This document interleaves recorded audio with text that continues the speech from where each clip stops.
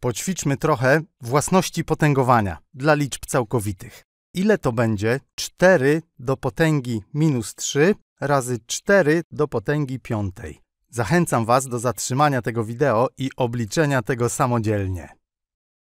Można to oczywiście zrobić na parę sposobów. Na przykład mnożymy tutaj dwie liczby, dwie potęgi, które mają takie same podstawy. W takim razie to się równa, ta podstawa, 4, do potęgi i dodajemy wykładniki, do potęgi minus 3 plus 5. A to się równa 4 do potęgi drugiej, 4 do kwadratu.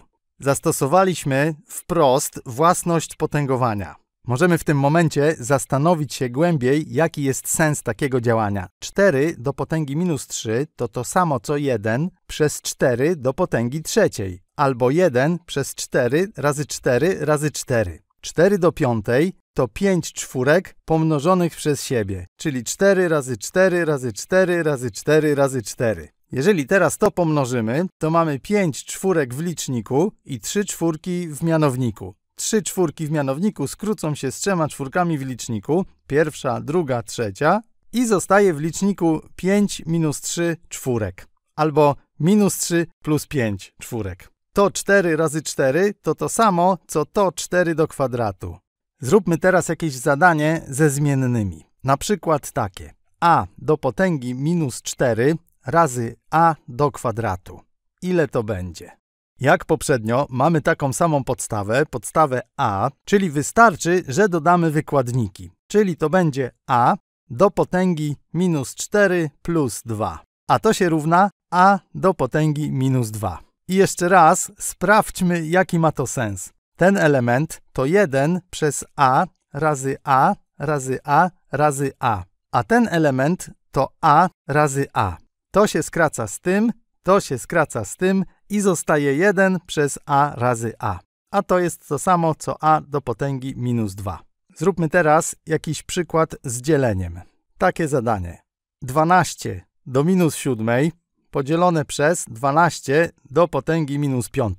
Przy dzieleniu odejmujemy wykładniki, pod warunkiem oczywiście, że mamy takie same podstawy. Czyli to się równa 12 do potęgi minus 7 minus minus 5. Odejmujemy wykładniki z mianownika. To się równa 12, odejmowanie liczby ujemnej zamieniamy na dodawanie liczby dodatniej, 12 do potęgi minus 2.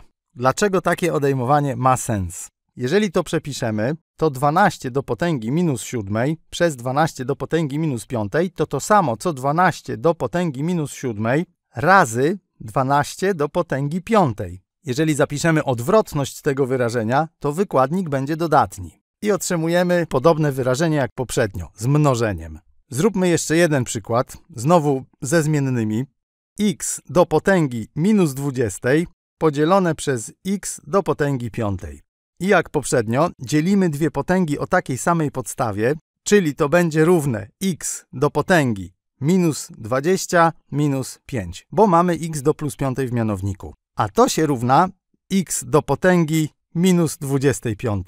I znowu możemy pierwotne wyrażenie zapisać jako x do potęgi minus 20, a dzielenie przez x do potęgi 5, czyli wyrażenie z mianownika, to to samo co mnożenie razy x do potęgi minus 5. No i tutaj przy takim mnożeniu po prostu dodajemy wykładniki i otrzymujemy jak poprzednio x do potęgi minus 25.